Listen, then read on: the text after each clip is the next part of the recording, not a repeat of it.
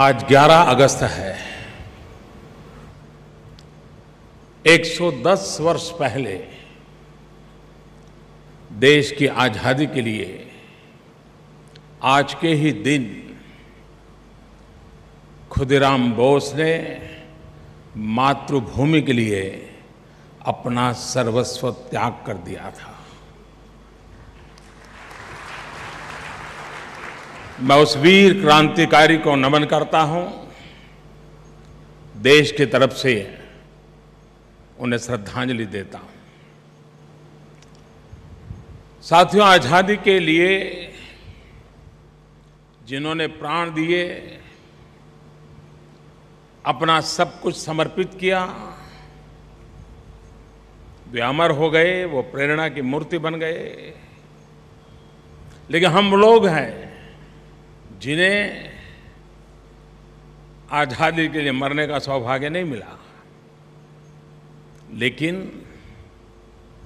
हमारा ये भी सौभाग्य है कि हम आज़ाद भारत के लिए जी सकते हैं। हम देश की आज़ादी को राष्ट्र के नवनिर्माण के लिए जी करके ज़िंदगी का एक नया लुप्त लुटा सकते हैं। आज मैं अपने सामने आपके भीतर, आपके चेहरे पर जो उत्साह देख रहा हूँ, जो आत्मविश्वास नज़र आ रहा है, वो आश्वस्त करने वाला है कि हम सही रास्ते पर आगे बढ़ रहे हैं।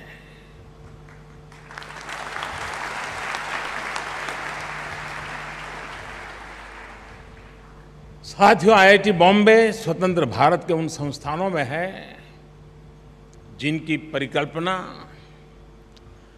टेक्नोलॉजी के माध्यम से राष्ट्र निर्माण को नई दिशा देने के लिए की गई थी। बीते 60 वर्षों से आप निरंतर अपने इस मिशन में जुटे हैं। सौ छात्रों से शुरू हुआ सफ़र आज दस हज़ार तक पहुँच चुका है। इस दौरान आपने खुद को दुनिया के टॉप संस्थानों में स्थापित भी कर दिया है।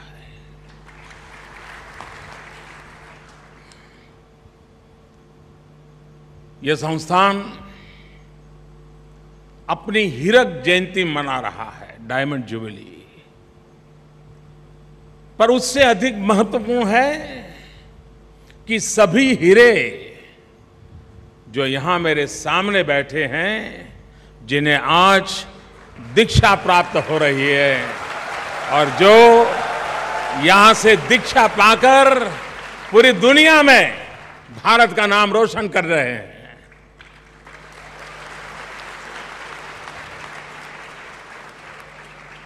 आज इस अवसर पर सबसे पहले मैं डिग्री पाने वाले देश विदेश के विद्यार्थियों को, उनके परिवारजनों को हृदयपूर्वक बहुत बहुत बधाई देता हूँ। उनका अभिनंदन करता हूँ। आज यहाँ डॉक्टर रमेश वाधवानी जी को डॉक्टर ऑफ़ साइंस की उपाधि भी दी गई है। डॉक्टर वाधवानी को भी मेरी तरफ़ से बहुत बहुत बधाई।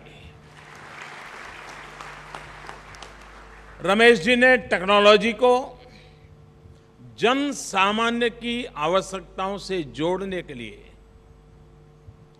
उम्र भर काम किया है। वाधवानी फाउंडेशन के ज़रिए इन्होंने देश में युवाओं के लिए रोज़गार निर्माण, स्किल इनोवेशन और एंटरप्राइज का माहौल तैयार करने का बीड़ा उठाया है। एक संस्थान के बतौर, ये आप सभी के लिए भी गर्व का विषय है कि यहाँ से निकले हुए वाधवानी जी जैसे अनेक छात्र छात्राएँ आज देश के विकास में सक्रिय योगदान दे रहे हैं। बीते छह दशकों की निरंतर कोशिशों का ही परिणाम है कि आईआईटी बॉम्बे ने देश के चुनिंदा इंस्टीट्यूशंस ऑफ़ एमिनेंस में अपनी जगह बनाई है।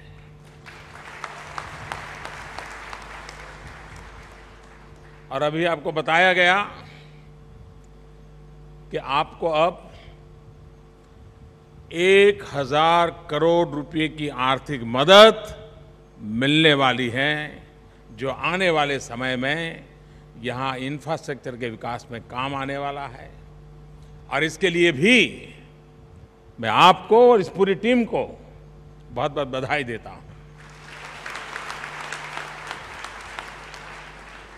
The nation is proud of the IITs and what IIT graduates have achieved. The success of the IITs led to the creation of several engineering colleges around the country. They were inspired by the IITs, and this led to India becoming one of the world's largest pools of technical manpower. The IITs have built brand India globally.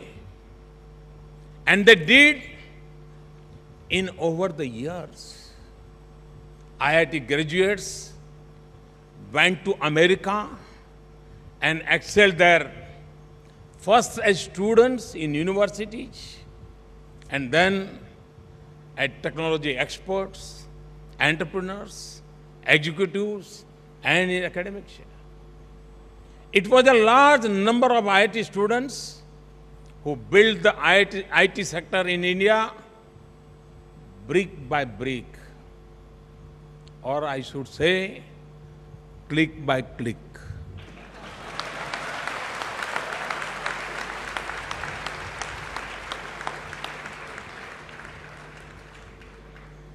Earlier, Indians with the IT sector were considered hardworking and intelligent, but mainly in other nations, mainly in USA. Now, India has become the destination for IT development, and today, IIT graduates are at the forefront of some of the best startups in India.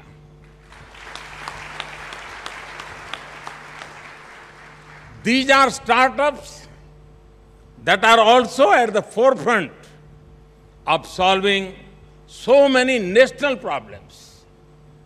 To these and to those working in the startup movement or are planning to start one after college, please do remember that the biggest corporations of today were startups of yesterday. They were the result of idealism combined with hard work and diligence. Keep at it. Do not give up, and you will succeed. You are fortunate to have lived in a campus like this in a city like Mumbai.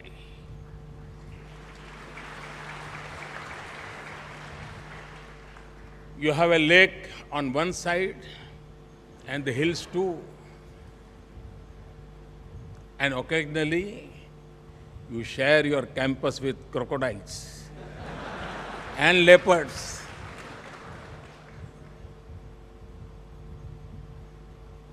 It is still August, but I'm sure the mood is indigo today.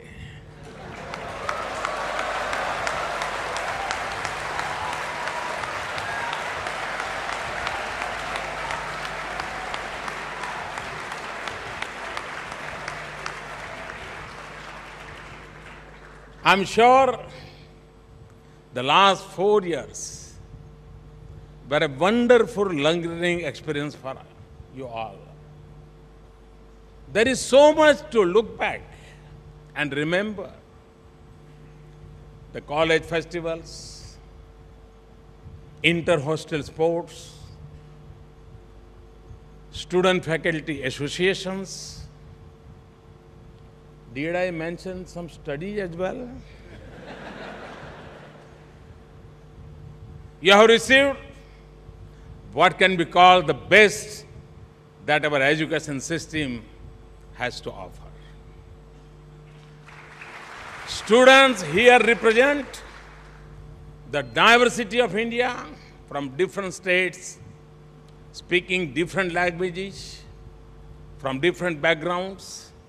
You merge here in pursuit of knowledge and learning. साथियों IIT Bombay देश के उन संस्थानों में से हैं जो India, new India की न्यू टेक्नोलॉजी के लिए काम कर रहा है। आने वाले दो दशकों में दुनिया का विकास कितना और कैसा होगा, ये इनोवेशन और नई टेक्नोलॉजी तय करेगी। ऐसे में आपके संस्थान का आईटी का रोल बहुत महत्वपूर्ण हो जाता है। चाहे 5G ब्रॉडबैंड टेक्नोलॉजी हो आर्टिफिशियल इंटेलिजेंस हो ब्लॉकचेन टेक्नोलॉजी हो बिग डेटा एनालिसिस हो, या फिर मशीन लर्निंग ये वो तकनीक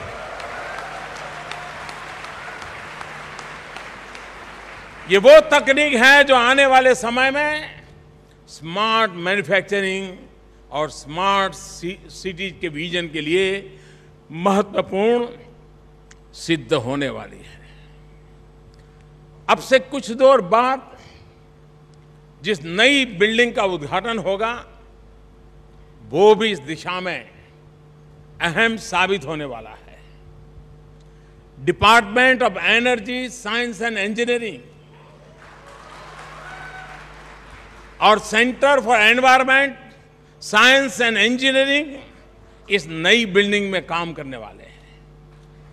ये देखते हुए कि एनर्जी और एनवायरमेंट देश और दुनिया के लिए सबसे बड़ी चुनौती है और मुझे विश्वास है कि आने वाले समय में यहाँ इन दोनों क्षेत्र के रिसर्च के लिए एक बेहतर माहौल तैयार होगा। मुझे बताया गया है कि इस बिल्डिंग में एक सोलार लैब भी स्थापित की जा रही है, जिससे छात्रों को सोलार एनर्जी से जुड़ी रिसर्च में सुविधा होगी। सोलार एनर्जी के अलावा बायोफ्यूल भी आने वाले समय में क्लीन एनर्जी का एक बहुत बड़ा सोर्स सिद्ध होने वाला है। मैंने कल दिल्ली में वर्ल्ड बायोफ्यूल डे के अवसर पर कहा था कि इससे जुड़ी टेक्नोलॉजी को लेकर इंजीनियरिंग के छोटे से लेकर बड़े संस्थान में पढ़ाई हो रिसर्च हो। साथियों आईआईटी को देश और दुनिया इंडियन इंस्टीट्यूट ऑफ़ टेक्नोलॉजी के रूप में जानती है। लेकिन आज हमारे लिए इसकी परिभाषा थोड़ी बदल गई है। ये सिर्फ़ टेक्नोलॉजी की पढ़ाई से जुड़े स्थान भर नहीं रह गए हैं, बल्कि आईआईटी आज इंडिया इंस्ट्रूमेंट ऑफ़ ट्रांसफॉर्मेशन बन गए।